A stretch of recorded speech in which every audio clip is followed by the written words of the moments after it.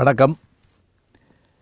மனிதகுல வரலாறுகளை எல்லாம் பார்க்குறப்ப மனிதர்கள் எதெல்லாம் கண்டு அஞ்சினாங்களோ அதெல்லாம் வணங்கவும் தொடங்கினாங்க அப்படிங்கிறது எல்லா புராணமும் சொல்கிற ஒரு விஷயம்.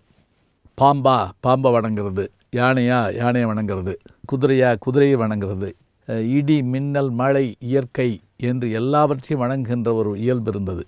அதோடு மட்டுமில்லை தங்களோடு வாழ்ந்த மிருகங்களின் உருவங்களை ஓவியங்களாக சிற்பங்களாக செய்வதோடு கற்பனையிலும் அவர்கள் சில மிருகங்களை யோசித்து வைத்தார்கள். அதற்கு உருவமும் கொடுத்தார்கள். இது ஒரு பக்கம். இல்லை இல்லை அப்படி இல்லை. எல்லா புராணங்களிலும் சொல்லப்படக்கூடிய சில வகையான உயிரினங்கள் இருந்து அழிஞ்சிருக்கலாம். அதுக்கு சான்று என்ன அப்படின்னா டைனோசார் அப்படிங்கிறாங்க. டைனோசாருங்கிற ஒரு மிருகம் இந்த பூமியில் மனிதர்கள் தோன்றுவதற்கு பல லட்சம் ஆண்டுகளுக்கு முன்பாக இருந்திருக்கிறது. இருந்ததற்கான அந்த தடயம் என்ன அப்படின்னா அதனுடைய எலும்புகள் முட்டைகள் எல்லாம் அந்த ஃபாசில் வடிவத்தில் கிடச்சிருக்கு.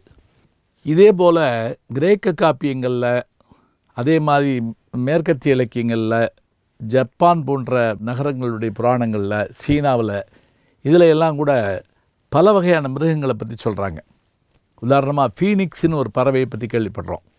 சீனர்களுக்கு ட்ராகன் அப்படின்னு ஒரு இதை பற்றி சொல்லப்படுறதை பார்க்குறோம். இப்போ இந்த மாதிரியான உயிரினங்கள் இருந்ததா இல்லையான்னு நமக்கு தெரியல. ஆனால் நம்முடைய தமிழ்நாட்டில் ஒரு ஆச்சரியம் என்னன்னு பார்த்தீங்கன்னா இந்தியாவில் முழுக்கவே கூட சொல்லலாம். இந்தியா முழுவதுமாக இருந்த ஒரு உயிரினமாக கருதப்படுவது எதுன்னு கேட்டிங்கன்னா யாழி என்கின்ற ஒரு மிருகம்.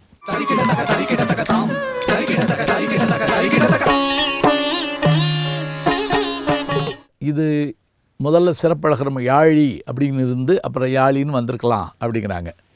இதனுடைய உருவ அமைப்பு எங்கே நீங்கள் பார்க்கலாம். கோயில்களில் தான் பெரும்பாலும் இருக்கும். இது எப்படி இருக்கும் அப்படின்னா இதனுடைய கால்கள் வந்து சிங்கத்தோட கால்களாக இருக்கும். குதிரையினுடைய உடம்பாக இருக்கும். யானையினுடைய துதிக்கையாக இருக்கும். கோர பற்களை உடையதாக இருக்கும்.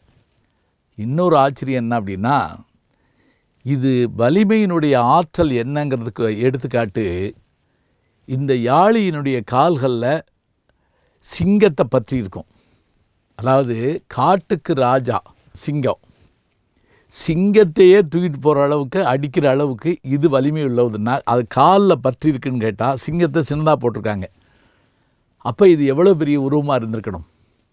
சரி இந்த உருவம் எத்தகைய உ- உயரமும் பருமனும் கொண்டதாக இருக்கும் அப்படின்னா இதுக்கு நற்றிணையில் வரக்கூடிய ஒரு பாடல் என்ன சொல்லுது அப்படின்னா அருவியார்க்கும் பெருவரை அடுக்கத்து ஆழி நன்மான் வேட்டழு கோணுகிர் பூம்பொறி உழுவை தொலைச்சிய வைனுதி ஏந்து வெண்கோட்டு வயக்களிர்களுக்கும் துன்னரும் காணம். தலைவன் வரக்கூடிய அந்த பகுதியை பார்த்து அவள் தலைவி பயப்படுறா. நீங்கள் இரவு நேரத்துலேயே ப தனியாகவோ வர வேண்டாம். ஏன்னா இறந்து கிடக்கின்ற அடித்த உயிரினங்களை யாழிகள் பற்றி இழுத்து செல்லக்கூடிய அந்த காடு அப்படிங்கிறா. அந்த பாட்டை கேட்டாலே ஆச்சரியமாக இருக்கும். இதே போல் பொருணராற்றுப்படையிலையும் இதை பற்றி செய்தி ஒன்று இருக்குது. காற்று காட்டு வழியாக வர்ற போது யாழியை பற்றி செய்தி சொல்லப்படுது. இப்போ இந்த யாழி வடிவத்தை எங்கே பார்க்கலாம்? பெரும்பாலும் நாயக்கர் காலத்தினுடைய கட்டப்பட்ட கோயில்களில் இது அதிகம் இருக்குது. திருக்குறுங்குடி கோயிலினுடைய அந்த தூண்களில் இதை பார்க்கலாம். இன்னொரு ஆச்சரியம் என்னென்னா மதுரை மீனாட்சி அம்மன் கோயிலில் ரெண்டு பக்கமும் அம்மன் சந்தைக்குள்ளே போகிற போது ரெண்டு பக்கம் யாழிகள் இருக்குது அதில் ஒரு யாழியினுடைய வாய்க்குள்ளே கையை விட்டோம்னா உள்ளே ஒரு பந்து கிடக்கிற மாதிரி இருக்கும். இது இன்றைக்கி நீங்கள் பார்க்க முடியும். அப்போ இந்த யாழி இருந்து மறைந்ததா? டைனோசார் மாதிரி. இல்லை இது கற்பனையான ஒரு வடிவமா? இதை பற்றி ஆராய்ச்சி பண்ணிக்கிட்டே இருக்காங்க. எப்படியா இருந்தாலும் இலக்கியத்தில் சொல்லப்படுது அப்படிங்கன்னு பார்க்குறப்ப நமக்கு ஒரு வேளை இது இருந்திருக்கலாமோ அப்படின்னு நமக்கு தோன்றுறது சில நேரங்களில் கோயிலில் பார்க்கலாம் இன்றைக்கி யாழி வாகனம் அப்படின்னு போட்டிருப்பாங்க. அப்போ சிம்ம வாகனம் காளை வாகனம் அதுபோல் யாழி வாகனம் இருந்திருக்கு. இந்த யாழிகள் பல்வேறு வடிவங்களில் சொல்லப்படுது. மகரையாளி சிம்மையாளி சிம்ம யாழி ஞமளியாளி மூஷிகையாளி. மூஷிகம்னா மூஞ்சூறு. அதே மாதிரி ஞமளி அப்படின்னா நாய். அஸ்வம் அப்படின்னா குதிரை. அதே போல் கஜம் அப்படின்னா யானை. சிம்மம் அப்படின்னா சிங்கம். இத்தனை முகங்களை உடையதாகவும் இது இருக்கிறதாக நம்ம பார்க்குறோம். அப்போ இப்படியான ஒரு மிருகத்தை பற்றிய யோசனைகளை மனிதர்கள் யோசித்தார்களா? புராணங்கள் இருந்ததா? ஏன் அழிஞ்சு போயிருக்கக்கூடாது இது கூட கேட்கலாம். அதுக்கு ஆதாரம் டைனோசர்கள் இருந்து அழிந்ததை நாம் பார்க்குறோம். மனிதர்கள் சந்தித்திராத ஒரு உயிரினம் எதுனா டைனோசர் தான். அதுபோல் யாழியையும் நாம் சந்தித்ததில்லை புராணங்களில் சொல்லப்படுகின்ற உயிரினங்களாகத்தான் இவை காட்டப்படுகின்றன. என்றாலும் கூட இலக்கியங்களில் சொல்லப்படுகின்ற சிற்பங்களில் காணப்படுகின்ற கற்பனையில் உதித்ததாக எண்ணப்படுகின்ற இந்த மிருகங்கள் ஒரு காலத்தில் வாழ்ந்திருக்கலாமோ என்ற எண்ணம் நமக்கு ஏற்படுகிறது.